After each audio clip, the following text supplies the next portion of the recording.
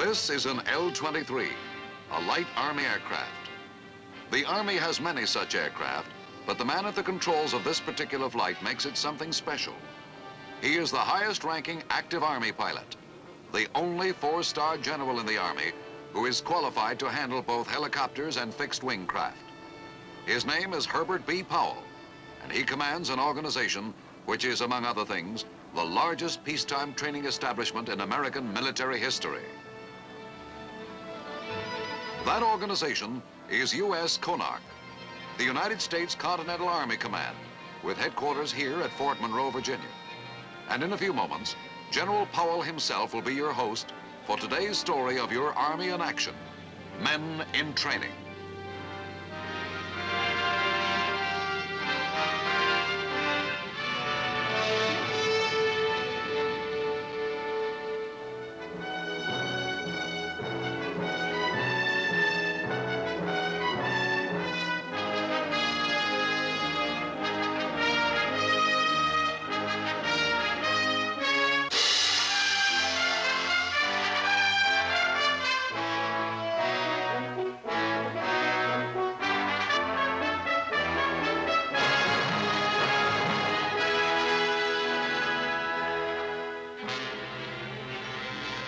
General Powell is returning from a brief trip to get a first-hand look at one of the thousands of training operations for which his command is responsible.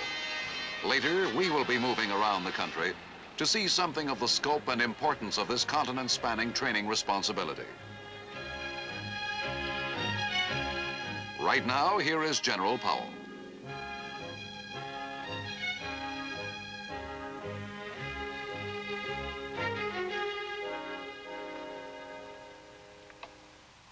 Welcome to Fort Monroe and the headquarters of your Continental Army Command. It's a command which reaches into every one of the 48 continental United States. And if you have a father, brother, friend, or a sister serving today in the Army, the Army Reserve, the Army National Guard, or in an ROTC unit anywhere from Maine to California, you and I have a mutual interest the well-being and the military proficiency. The skill of every member of the Army is a matter of direct concern to us here. You're about to take a brief look around the post, I understand. I'll see you again at my office. Since time is limited, I'll just say again, welcome. The mission of CONARC, its objective, its reason for being is simply stated. It is readiness, complete and constant. At this headquarters, men of your Army are at work every day to ensure the success of that mission, the achievement of that objective. It is a many-fold responsibility. For example, CONARC provides the largest combat-ready command in the United States Army, ARSTRIKE, which is the Army component of the Strike Command. Two full corps, about 312,000 uniformed men, and everything they need to do their jobs. CONARC is, for the first time, the single command which is responsible for virtually all Army training, basic, advanced, and specialized. It is also the only command headquarters of the Army Reserve and supervises all Army National Guard and ROTC training.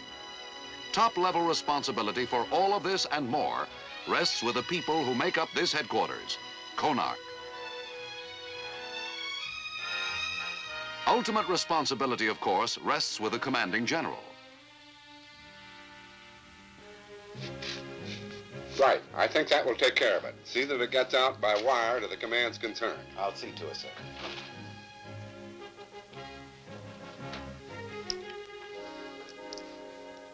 I hope you enjoyed your brief look around Fort Monroe. I wish we had more time for a fuller inspection, but there's a great deal for you to see around the country. Let me give you an idea of what I mean.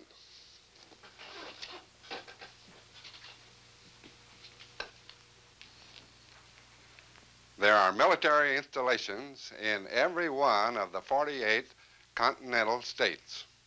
73 active Army installations. About $4 billion worth of American real estate. Of course, we can only show you a few examples of the training that is today building an American Army that's ready for anything, anywhere. Each of these symbols represents a training operation of one kind or another. Army training takes literally hundreds of forms. The skills called for today are many, but all of it begins where soldiering itself begins, with basic infantry training. Foot soldier is the basic unit of America's fighting strength. And it is the young citizenry of America which provides this strength. The transition from citizen to citizen soldier. This is the objective of basic training. And for the recruit, it is a transition which involves major changes in his way of living.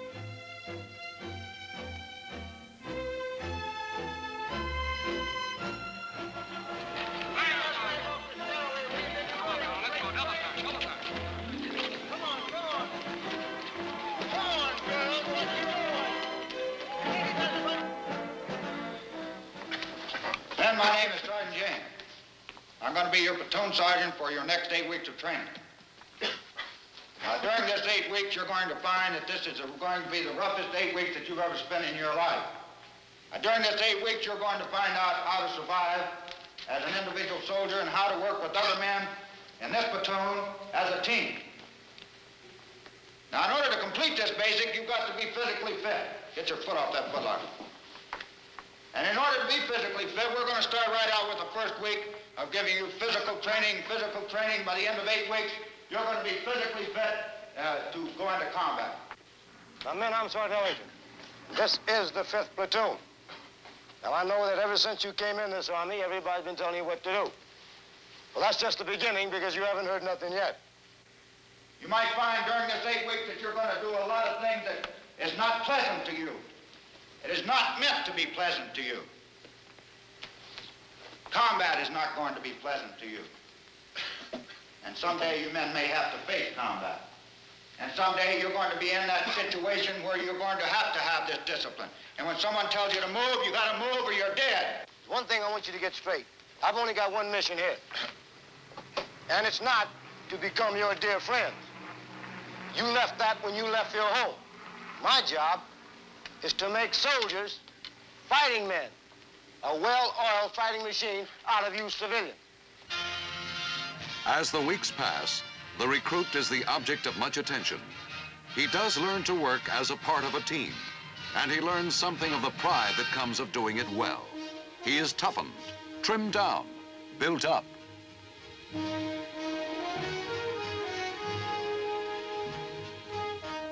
Becomes intimately acquainted with the basic tools of the profession of arms, and he uses them under realistic conditions until he has mastered them. And along the way, he masters himself. By the end of his basic training cycle, he has learned many things. The self-discipline that comes from learning to accept discipline. The self-confidence that comes from succeeding at that which is not easy. The deep, sometimes surprising satisfaction of serving. In a few short weeks, the citizen has in fact become a soldier.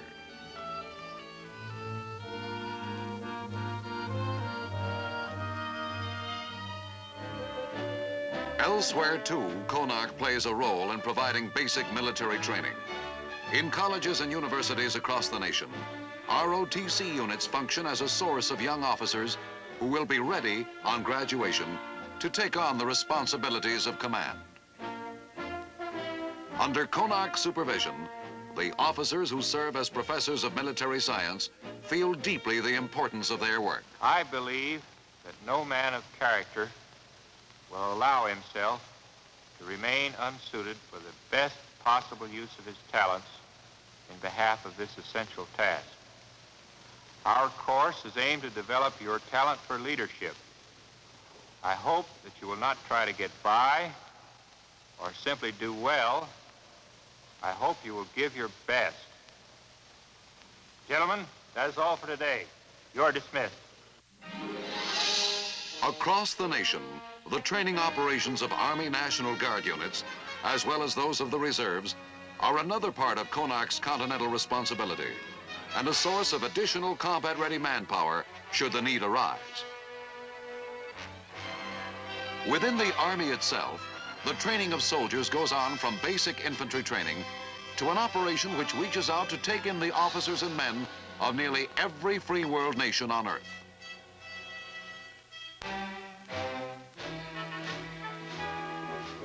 Advanced infantry training is a specific term and means just what it says. Here, for example, the man of arms receives instruction in the wide range of weapons which make the American foot soldier the formidable fighter he is. A graduate course in striking power.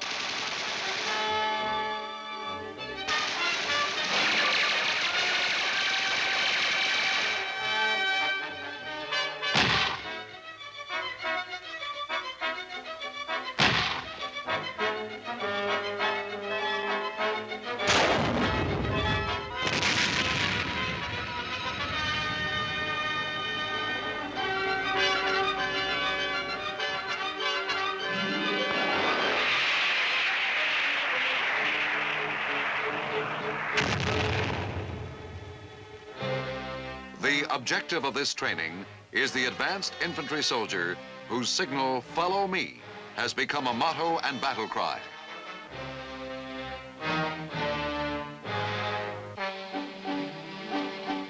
Advanced infantry training is often a prelude to the specialized disciplines of airborne training. In combat, the airborne soldier must function well under pressure. He trains under pressure, and no mistake escapes the notice of his instructors. Dug your right shoulder into the ground. Next time, rotate the upper body to the left to make your proper parachute landing fall. Do you understand? Yes, Sergeant. Move out and make another parachute landing fall and show me you understand. Recover. As he moves ahead in his training, he moves at the double, both literally and figuratively. There is much that he must know how to do, and he will be drilled until he knows beyond question how to do it. Instant correction of mistakes is the trainee's best insurance against trouble in actual airdrop, and he knows it.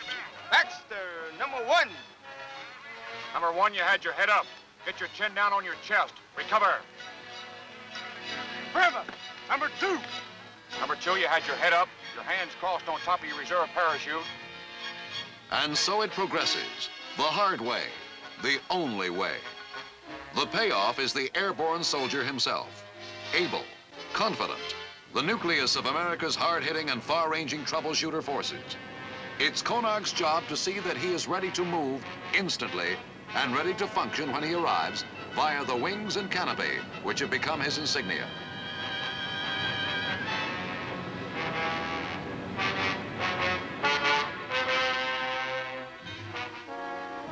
Ranger training is quite often the next step for men who have the mental and physical qualifications. It is not a course to be entered upon lightly. Hostile terrain, days without rest, and nights without sleep are an integral part of this training.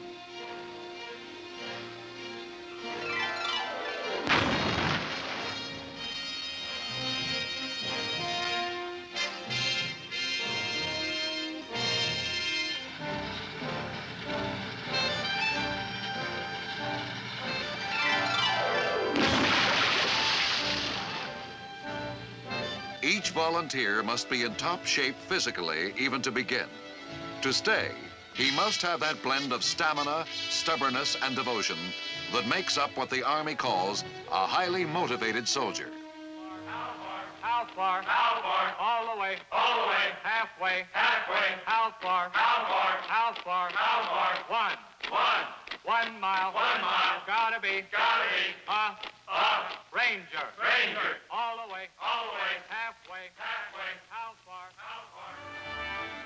It's not all physical conditioning.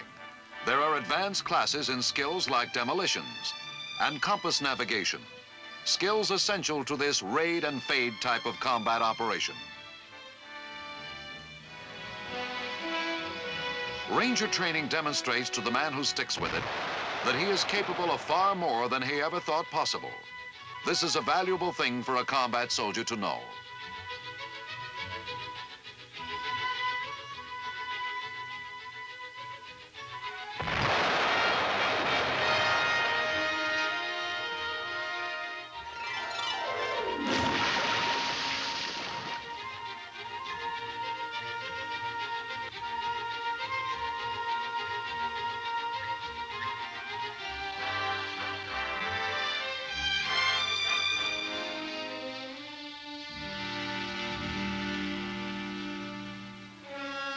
It is CONARC's intention for this training to be as realistic and demanding as possible. And the night maneuvers, which take up a good part of the Ranger trainee's time, meet both these requirements. To find the objective in darkness and silence, strike, destroy personnel and equipment, and get clear of the area. This is a typical Ranger training assignment.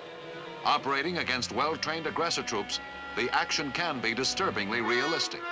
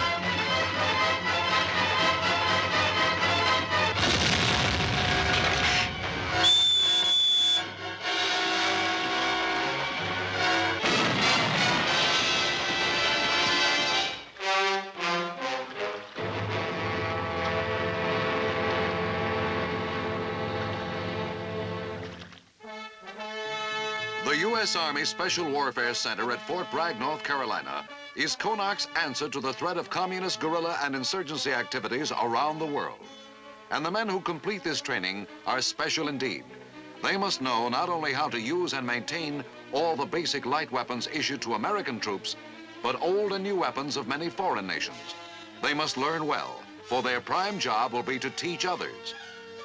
This familiarity cannot be superficial.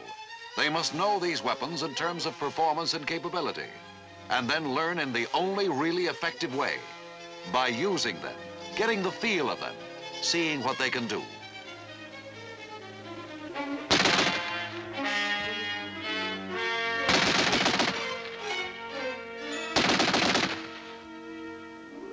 Each member of a Special Forces team must also be able to assemble and use a light radio transmitter and to send and receive Morse code. The communications specialist of the team must be able to build such a radio from parts available if he has to. Every man is trained and trained thoroughly in first aid. The kit carried by Special Forces teams is extensive to support the advanced capability of the team's medical aid specialist.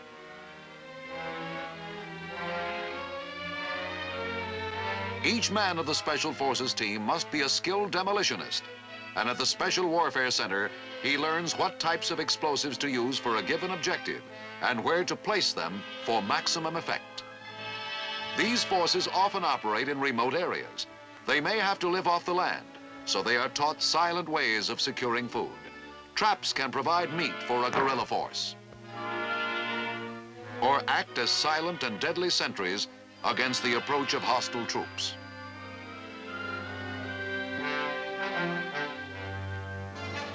Like the Ranger, the Special Forces soldier is trained to make impossible terrain his everyday route of travel, a necessity for men who may have to live and work deep in hostile territory.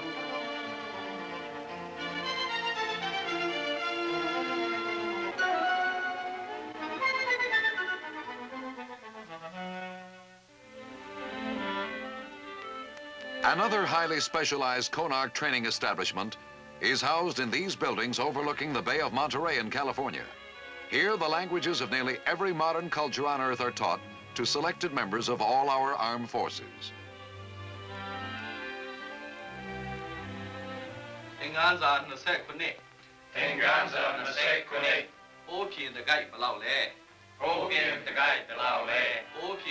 The expanded requirements of today's army its global commitments and involvements, create a vital need for men who can speak the language of other countries.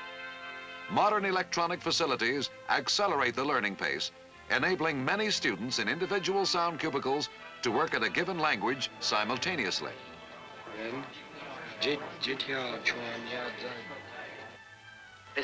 The objective is useful, practical, and workable command of spoken language. The work sessions are concentrated and the subject matter pertinent. Here a student responds in Russian. 85 миллиметров. При нем Команда из четырех человек. Его предельная скорость 36 миль в час. Thank you, very good. As the training of today's soldier becomes more specialized, it has also become more technical. Modern communications, systems able to link up forces separated by miles or even hundreds of miles, are as essential to the 20th century Army as weapons and ammunition. Equally essential are skilled Army technicians to service, operate, and maintain the complex electronic devices which provide such communication. The training of such specialists is yet another aspect of CONARC's responsibility. This highly technical kind of training extends to the new breed of artilleryman, the missile man.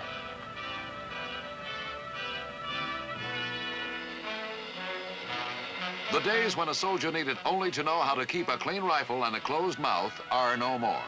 The weapons of today and the technology from which they have sprung make unique demands upon the men who must train to operate them.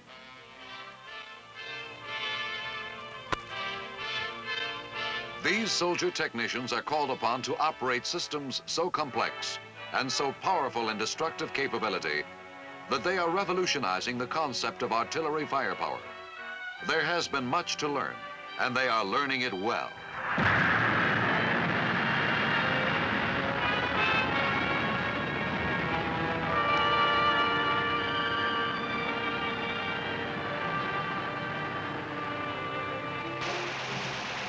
Army's Sunday punch on the ground has not been neglected, however. CONARC's armored training responsibility has been increased, and the men of today's armored forces train in realistic combat exercises with tanks and other armored vehicles which have greater range, firepower, and punch than ever in history. Combat can come in a great number of ways, and it is CONARC's job to see that the Army is ready to act on any scale, large or small.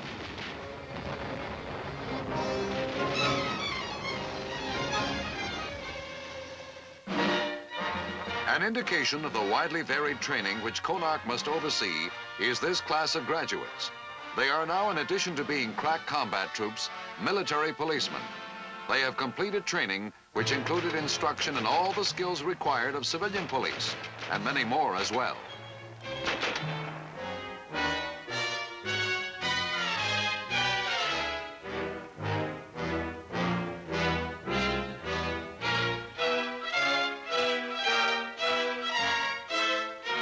They have been taught the precision and discipline through which a skilled team of military police can master the disorganized mass emotions of a mob of rioters. And at the school, they have put that teaching into practice.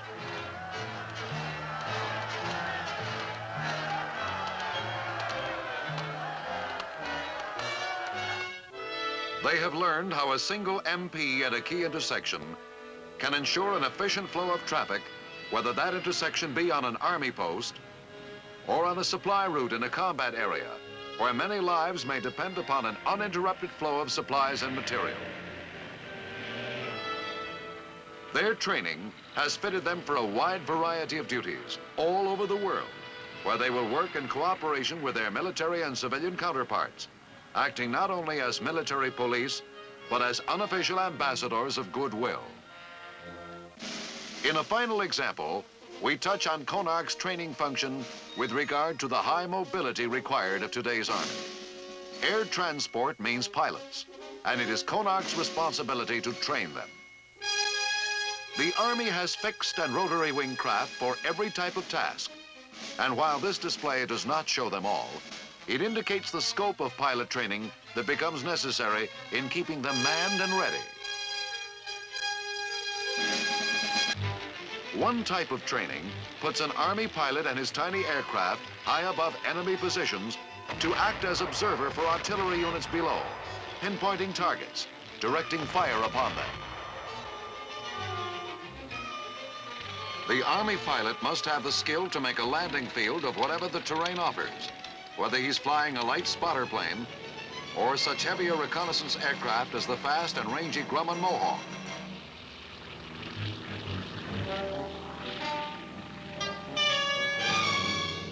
Or the Army's largest aircraft, the highly rugged and versatile Caribou.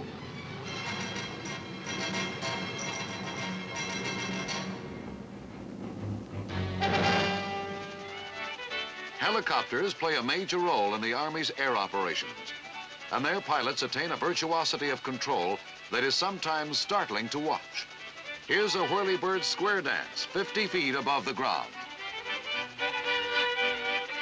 Such displays of precision are more than just an interesting show, however, for no less a degree of control is acceptable when a pilot must take off and skim the treetops, avoiding enemy fire to complete a mission like this one, the recovery of casualties from a forward combat area.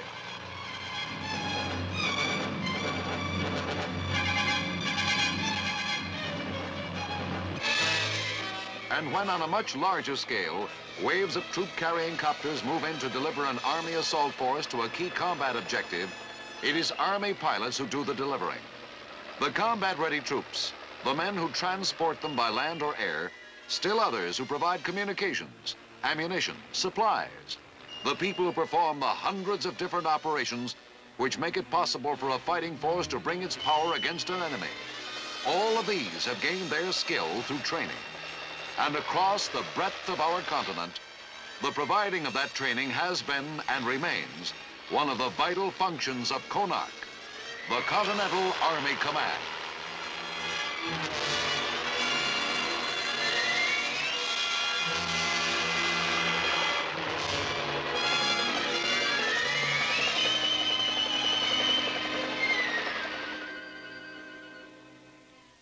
What you have seen, of course, is only the smallest of samplings. A few representative samples of CONARC's training responsibility. And this training, of course, is only one of a number of missions which CONARC must fulfill. But it is a vital one. Its objective is the basic one you heard described earlier, readiness, complete and constant. The time and the circumstances in which America finds itself demand this degree of readiness. Your Continental Army Command intends to make sure that this demand is met.